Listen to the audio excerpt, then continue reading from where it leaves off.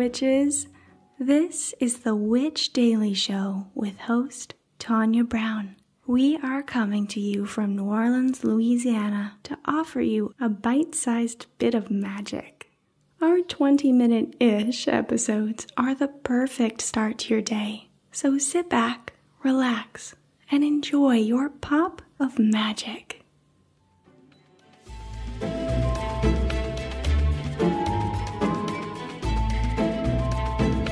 Good morning, witches. It is June 1st, 2021. It is Tuesday. I am Tanya, and this is the Witch Daily Show. Today's episode is brought to you by Siobhan Duncan. So let's get your day going with a little magic. Our quote of the day is Change your thoughts, and you change the world by Norman Vincent Peale. All right, witches. So we are talking tea. Um, my personal favorite of the summer tea line, uh, freezer spell. This is um a caffeinated because it's green tea. Tea. Uh, it takes two to three minutes to steep. Um, it makes about 30 cups because uh, we have about two ounces per um, package. So, for refreshing, this tea will brighten your day with creamy sweetness and sunny lemon notes. Blended with green tea, apple pieces, orange, lemon flavor, marigold flowers, vanilla, and uh, creme. So, uh, yeah, I want to talk about uh, lemons and magic and kind of explain why this is called freezer spell. So, lemon is one of my most favorite ingredients. It works for such a variety of spells. Lemon is uplifting and brightening and it opens up the mind, but it can also be sour and it can be used in spells to keep people away. Um, for those who don't know, a freezer spell is a classic spell that is uh, found um, in a lot of folk magic. Um, you can find it in hoodoo. Um, you can also find it in um, Southern American folk practices.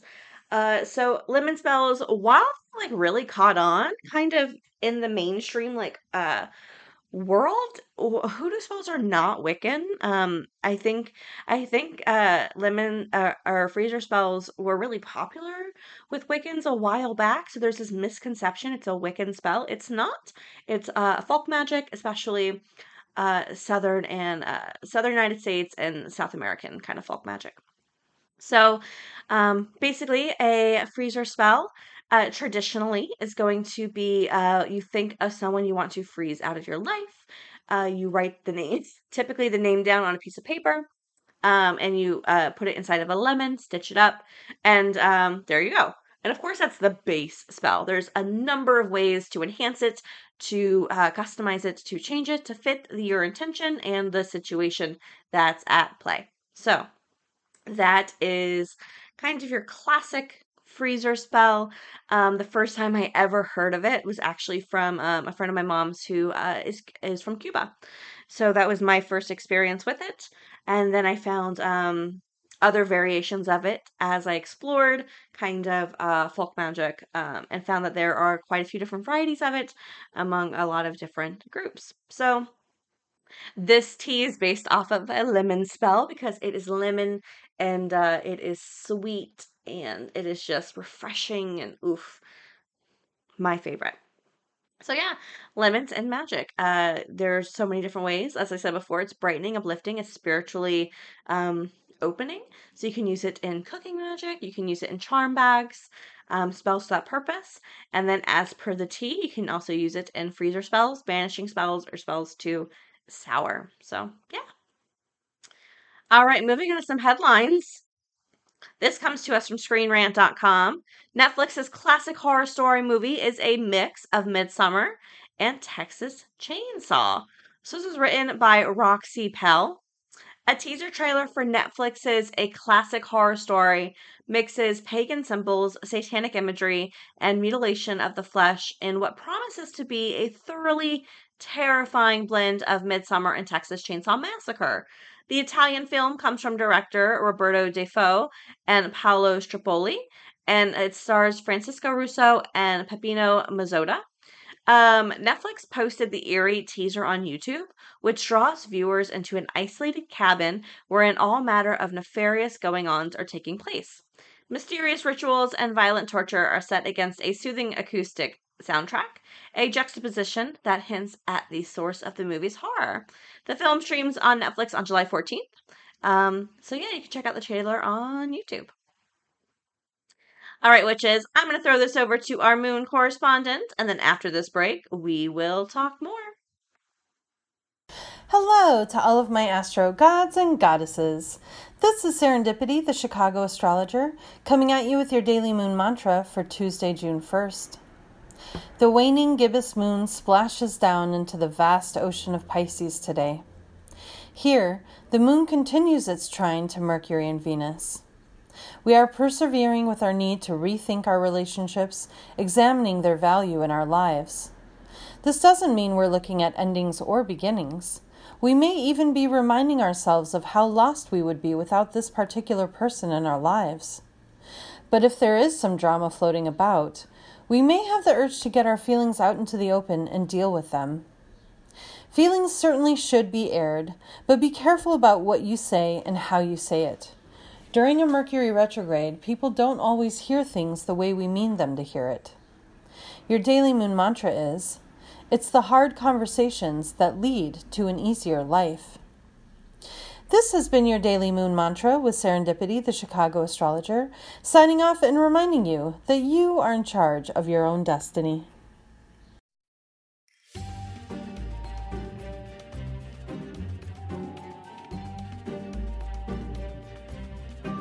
This episode is brought to you by Siobhan Duncan Illustration. The artist behind the Witch Daily Oracle is now offering prints and cards at siobhdraws.com slash shop. S-I-O-B-H draws.com slash shop. And just for our coven of listeners, use code WITCH at checkout for 15% off your order. Be sure to follow along on Instagram and TikTok at Chef Draws for more spellbinding sketches.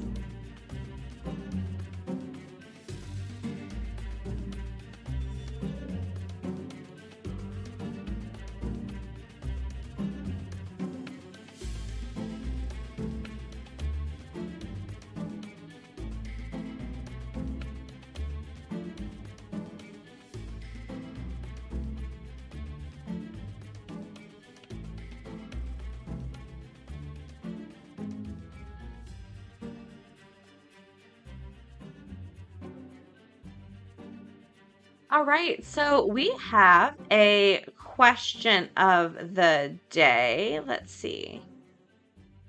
Oh, it's actually a witch fail. Okay, so this is comes from uh, listener Angie. Angie says, "I don't know if this is a witch fail or a witch win, but a few months ago, my past insecurities kept creeping uh, in on my current boyfriend. I let myself overthink a situation and I decided I would fix it so my guy could only um, perform around me, for me, or about me. I found a knot spell and I did the spell. Uh, well, a couple of months ago, my guy seemed really irritable and I asked him why. He said it's because he couldn't perform. First, I thought, well, he was stressed out. Um, or that there was something going on and basically um he it basically caused a split in um their sex life. So uh basically says his ex um he has an ex he only confessed to recently and uh basically because he i guess there was stress with his ex and um the spell just didn't work with their relationship. It caused um, a lot of problems. So she says um, the spell worked, it just didn't compute with their lifestyles, really what they wanted, um, and everything. And she says, I have stopped worrying about having the right everything and just did what I was feeling would work. So, um, yeah, pretty much. Uh, yeah, that is a witch fail. I would say. Basically, I think that's one thing is um sometimes we do want to fix the more immediate issue. Does that make sense? Instead of what actually works for us in the relationship. So basically, um, she's saying that her and um, her boyfriend that she uh, just was just feeling insecure, and so she wanted to do a spell to kind of force him to, uh, I guess, force him to prove the validation of the relationship, and she did a spell just based off that insecurity instead of thinking, okay, um, let's look at our relationship. Let's break down our relationship. What issues could be something that could cause a problem later down in our relationship? Communication or fidelity or whatever. So instead of instead of focusing on what could later be a blockage down the road to help ease her anxiety, she just went for something really rash and uh, that felt good in the moment of well if he can only perform for me that prove that e- that will ease my anxiety. That's obviously not how it works right? Because then you start to wonder well um it would actually hurt because now you're adding the anxiety of um is this only happening because i'm dictating it to? Does he really not want to be with me? Blah blah blah blah blah. So um if i would recommend if you ever do spell work for uh anxieties in a relationship, I would focus more on, um, well, one, think about your relationship. How does your relationship function? And what some obstacles that could come up later uh, that could hinder the relationship? And then focus on that. Because uh, doing the instant anxiety relieving um, doesn't actually help. And then you're just leaving yourself for more turmoil, more confusion, and um, the obstacles later down the road are still there. So, yeah, that would be my advice. You know, if you are in a relationship where maybe one of you doesn't communicate as well, or one of you is a little bit more closed off, think about how that could affect your relationship later. Don't focus on just your anxiety at, at the at the moment. So, hope that helps. All right, so we have another witch fail. This may just be an episode of witch fails. Uh, this comes to us from listener Elise. Elise. Elise says, Hi, Tanya. This is actually a witch win slash witch fail. My husband has been out of work for a year due to being laid off because of COVID, and then due to not being able to find a job at the same position he was at. So I did a witch jar spell for him with his permission, of course, and the next day I got a promotion. I think I already read this. Did I read this last week, you guys? I'm sorry. If I did, we're reading it again. My bad. Okay. Um, the next day I got a promotion. I'm super thankful for my promotion, especially I was as I wasn't expecting it. I guess though I need to be more specific next time. I guess this wasn't a witch fail exactly, just a witch misdirection. Thank you.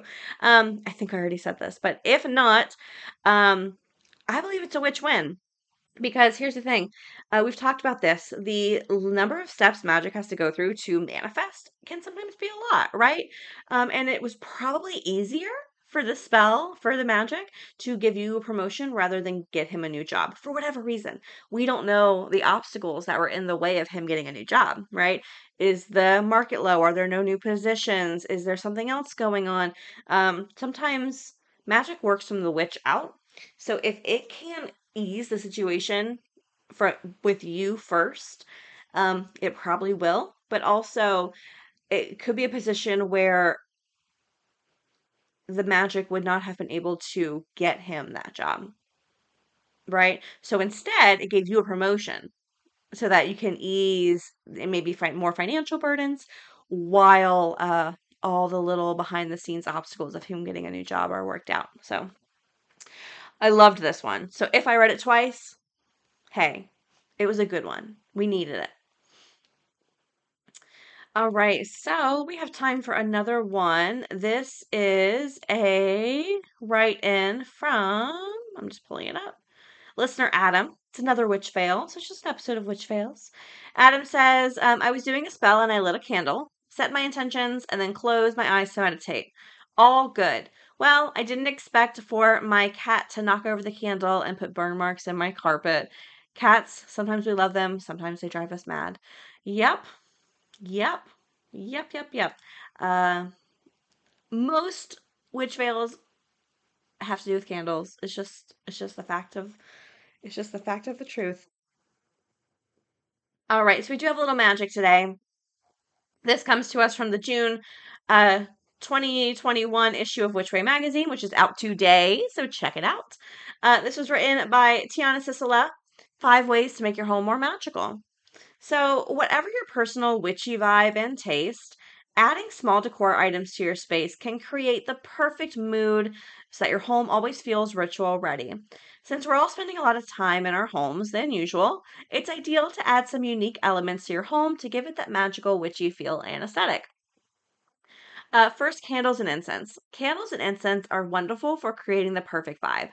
I like to place several natural pillar candles on side tables in each room in my place so I can light them whenever the mood strikes. You can opt either for scented or unscented ones. If pillar candles are too pricey, there is an option of using tea lights and small votive holders that can be painted or purchased to fit your style. Burning incense in various rooms can craft the ideal tone while also purifying the space for new workings. Personally, I do daily incense offerings to deities that I work with, but you can choose some that suit your purposes. My favorite incense blends include vetiver, frankincense, myrrh, and cinnamon. Mood lighting. If candles are not something you enjoy, then fret not. There are plenty of ways to implement the perfect lighting without the use of candles. Instead, pick up fairy lights, simple warm string lights, or add a dial to your overhead lighting so you can control the brightness. Plants and crystals. Plants and crystals are a fabulous way to add color to any space with while cleaning the energies and air. Whatever your skill level with your plants, there are tons to choose from. You can go for low maintenance succulents, air plants, or even simple terrarium. Otherwise, uh, growing your own herbs and magical plants can be especially convenient to have on hand for your practice. If live plants are not an option, you can always purchase some faux plants or vines as well. Crystals are super handy for clearing energies in a space or bringing uh, in specific energies you want in that room. Tourmaline and obsidian are great for clearing negative energy, while uh, crystal quartz brings in clarity. Amethyst is wonderful for healing, and rose quartz is ideal for love. Altars and ritual rooms. If you're fortunate enough to have ample space in your home, consider adding multiple altars or ritual uh, or a ritual room to your place. You can establish a main altar for workings and add several smaller altars um, on a mantle or side table. This is great if you celebrate the wheel of the year and want to decorate these areas with the colors, plants of the season. Of course, if you have any extra room, you can convert a small space into a ritual room. This is truly the dream, and the sky is the limit when decorating. Finally, ethereal elements. Incorporating some ethereal elements into your home is a great way to create your own aesthetic. Whether you're traditionally witchy or goth or go more green witch vibe, there are plenty of ways to do this. Put up tarot, astrology, or palmistry tapestry. Place small crescent moon dishes on your coffee table. Hang starry lights from the ceiling or decorate your kitchen with cute witchy mugs and signs. If you consider yourself uh, more of a natural witch, consider adding wood and other earthy elements into your home. Whatever your decorating style and tastes, these can easily be adapted to suit the items, colors, and limitations of your home without too much trouble. The point is to bring more joy and magic to infuse your home with a sense of intention and wonder that builds daily excitement for your practice. So, Tiana Sisela lives in sunny Southern California, where she works as a writer and content strategist. In her spare time, she acts in indie films and watches too much TV. She also is the founder of the natural beauty and lifestyle blog Storybook Apothecary. All right, witches, I do want to give some shout outs today. First, I want to give a shout out to listener Chrissy Faye. Chrissy Faye, you fair, sophisticated Loch Ness monster. I also want to give a shout out to listener Breck Gonzalez. Breck, you sweet, brilliant gnome. And then finally, Jennifer DeMucci. Jennifer, you bedazzled fair tiger cub. Thank you three so much for being Patreon supporters. I really, really appreciate you. And before we leave, we do have a card pull. Our card today is the Ghost from the Witch Daily Oracle, which we do have some decks left, by the way, so go check them out. So, The Ghost is all about afterlife, continuation, and purgatory. It was contributed by myself. Uh, timing, reach out in order to move. Yes or no, it is neither. What do we have when we don't have left? Di- la, la, la, la, la, la, la. What do you? what do we have when we don't have death or life? purgatory. You may feel stuck just on the outskirts of reality and can't get your footing. Things aren't beginning, but they are not ending.